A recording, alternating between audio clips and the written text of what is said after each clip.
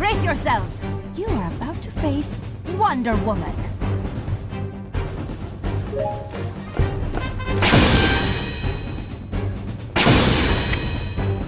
Evildoers, you are done for!